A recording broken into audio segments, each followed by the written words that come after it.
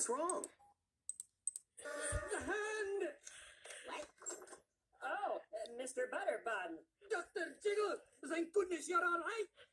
Well, uh, yeah, I, Well, uh, we've come to warn you. You've an intruder, a detestable disco dancing villain ducked through your back door. oh, uh, uh, yeah, well, uh, you must mean Mr. Sly. Mr. Sly? Oh, yeah, man, can that guy dance or what? Yeah, didn't I tell you? That little thing he does with his hips? Uh-huh. He's gotta be the best dancer in the whole world. What? You're in cahoots with that creature? Well, yeah, I mean, you gotta like a guy who can dance like that, right? Well, I suppose. I know I could never dance like that. I mean, just look at me. I'm too jiggly.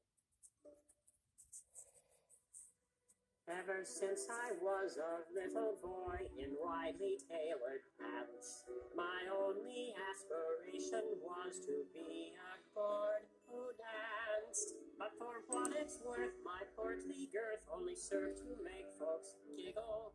For the more I moved, the more I proved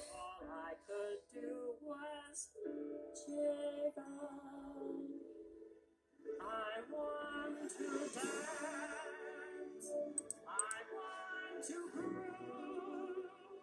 I need to feel the rush of the wind under my shoes. I want to dance.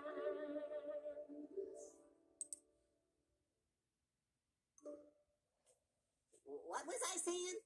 Barometer must be rising. Me joints are locking up. Yep, I think Mr. Sly is his non-jiggly, wonderful dancing and all. You guys would really like him. I know you would. Look, Dr. Jiggle, maybe I've been a bit harsh about this Mr. Sly friend of yours. Perhaps I owe him an apology. Would you mind introducing us? Uh, uh, no, I'm afraid that's not possible. You see, he's, he's real busy. Uh, now, if you'll excuse me, gentlemen, I have work to do. but you- Uh, you know, gotta I do think- doctor stuff. Bye. Good night. Poor Dr. Jiggle. Something tells me he's in trouble, Pool. And I suspect it's no small fault of that new friend of his. I'm going to get to the bottom of this. If he be Mr. Sly, I shall be Mr. Sneak.